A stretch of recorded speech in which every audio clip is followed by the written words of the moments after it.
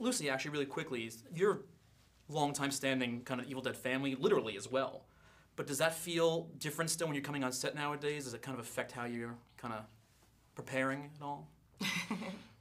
Yes, no. I wanted to make sure that I wasn't dragging any of my past roles into it. You know, there's a lot of uh, there's a, the danger of that. You don't want to try to smush.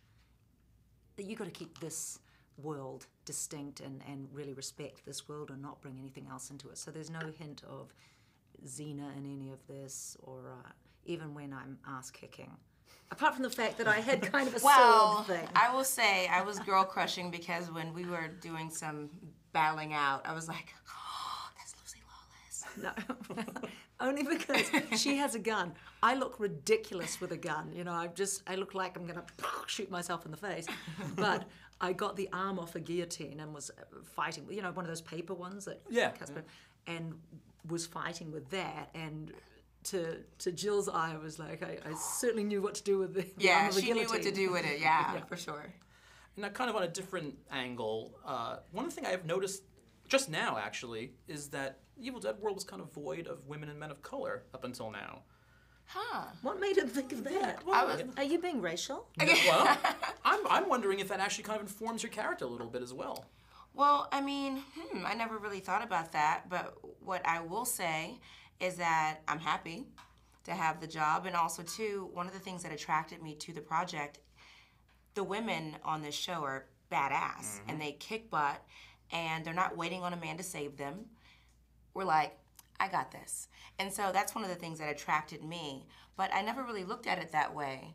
But I, there, I guess it is diverse and in the most amazing way, and I'm very happy about that. And we consider that completely natural, right? Yeah, 'Cause Yeah. that's- the way that's the what I world think, yeah. is. That is the way the world is. I I agree completely, but I just, I just, you know, it's one of those things. You sit down, and you're like, that's interesting. Never kind of came out to me before.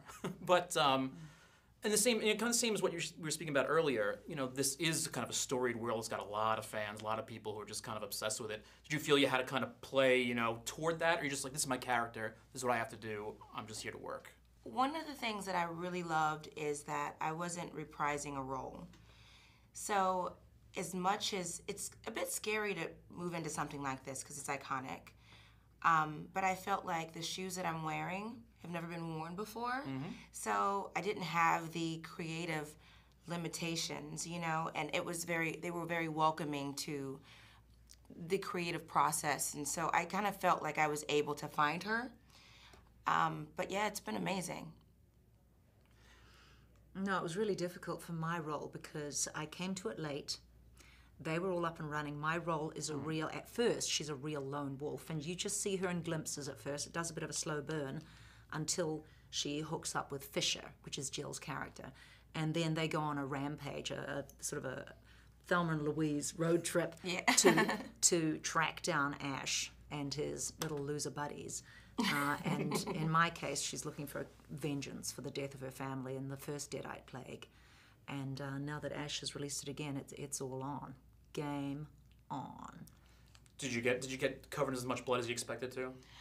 Oh, I, I, it- Blood is a character on this. I mean, of course, in evil, in, in true Evil Dead fashion, Blood is a character for sure. So we were all initiated. We initiated. were all wearing that particular character. Of course, yeah. What episode should we everybody look forward to for like the, the, the battle here with the guillotine and the gun and everything like that? How far do we have to wait for that? Three, I think, is where we meet. Okay. I Yeah, believe. yeah, yeah, In yeah. episode three. Episode three. Uh, and then, then it's a road trip where literally stalking Ash and his loser buddies. I think that's the, I think that's the official term for them. Loser buddies, Yeah. Hashtag, only- hashtag loser buddies. Yeah. No, we're just we're playing to an audience. Period. We don't care what age they are. I want Granny to watch this show because we hope that she'll find something in it that's funny, or maybe the gore will laugh. People laugh at the gore in these movies because it's so. You go, really? People got that much blood in them? you know. So we we want to a appeal to the original